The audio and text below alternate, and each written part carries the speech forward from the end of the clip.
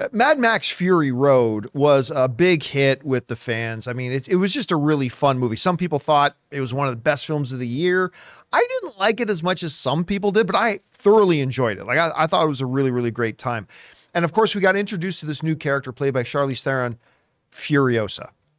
Now, I will admit that when they announced that they were going to do a Furiosa prequel, I did not love the idea. I mean, I love the character, but I would like to see things moving forward. I'm not generally a big fan of going backwards and telling prequels. There are exceptions for sure, but in general, I'm not. Then I heard Anya Taylor-Joy was going to play the younger version of Charlize Theron. I thought, okay, okay, that that's a really good pick to play the younger Furiosa. I could be on board with that. In George Miller's world, all that kind of stuff. Well, then, kind of surprisingly, coming out of CCXP in Brazil, the first trailer dropped yesterday. And so it was a little bit of, let's say, apprehension that I went ahead and fired up the trailer. I got to say, I loved it. I really liked it. As somebody who has been doubtful about this movie, and the movie still may end up not being something that I like, but as somebody who's been pretty pessimistic about this project, um, I call it as I see it. The trailer came, I watched it, I was glued to the screen. I, I really liked what I saw. I love the visuals. I love the audio. It's just a first trailer, which means don't expect much out of it. And it is what it is. It's the second and third trailers that they should start giving you the meat of what's the movie about and all that kind of stuff. But this first trailer is just a here's a little sample, boom. And, and I loved it. And I did not realize when that damn trailer started that that was Chris Hemsworth. I I did not realize it at all. I mean, it's not quite as extreme as Colin Farrell in the uh, Penguin prosthetics, or nor as unrecognizable. Because to this day, I look at the Penguin and I'm like, I still don't see Colin Farrell in there. Once I realized that that was Chris Hemsworth, I oh okay, yeah, now I can see it. But again, it just recaptured a lot of that frantic, chaotic, you know, anarchic energy. Look at that I just I just didn't see it at first. I just didn't see it at first. But to really get that anarchic energy that, that came from Mad Max Fury Road. And of course, some of the visual cues in the trailer are going to get a lot of fans of Fury Road excited. I can't remember what the name of the, the guys are that paint themselves white and skip. Yeah. Oh, the ones who yell witness. Yeah, I, I mean, uh, I can't remember what they called themselves. At any rate, them, uh, Joe is in there you going back to that world again, and I thought her arm looked awesome. Oh, the arm looked really cool. Oh, the arm looked so oh, they're good. Called the War Boys. The War Boys. War thank boss? you. I. What can I say? Hey, listen, it's just a first trailer. It's just a bunch of random shots edited together. I get it, but I'm evaluating it on that premise, and I, I got to say, as somebody who's been skeptical, I am now suddenly kind of excited to see this movie.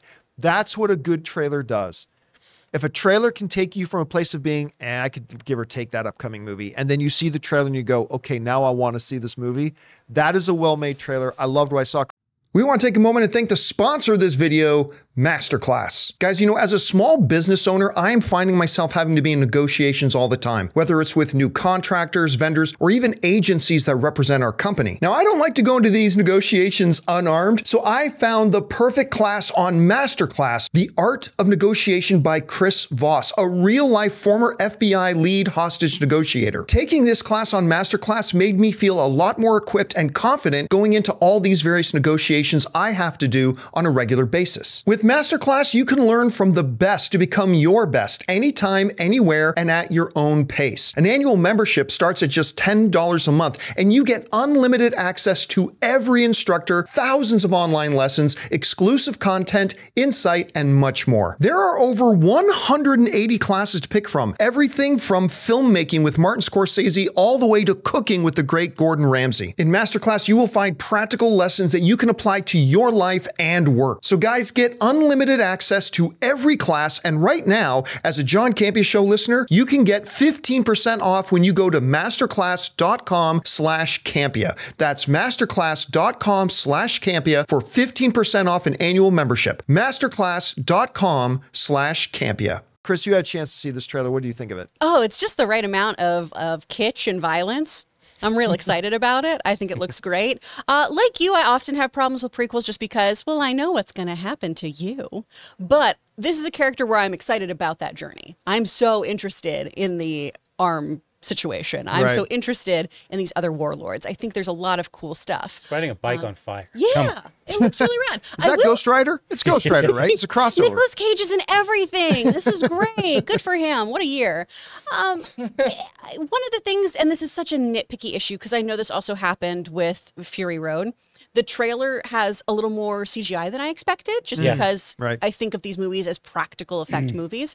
But that's what happened with Fury Road too, of just kind of finishing off some things to kind of make that trailer a little Yeah. glossier. I mentioned that to John earlier. Yeah. and Yeah. There's they rely heavily on those speed ramps. Exactly. I hate speed ramps in trailers. Yeah. Uh, and then it just slows down.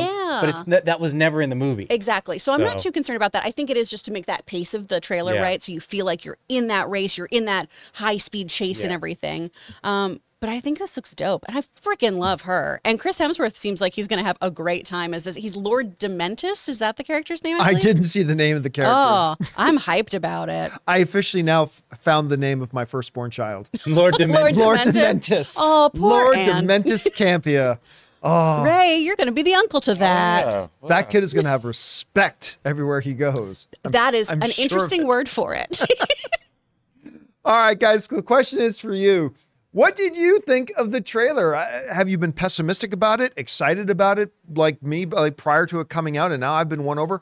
Whatever you guys think, jump on down to the comments and let us know your thoughts. Hey guys, thanks so much for watching this video. Make sure you like the video, leave a comment, and subscribe to our channel. And don't forget, we have a daily podcast called the John Campea Show Podcast, available on Apple Podcasts, Spotify, or your favorite podcasting app of choice. Go and subscribe to it today so it'll be there when you need it.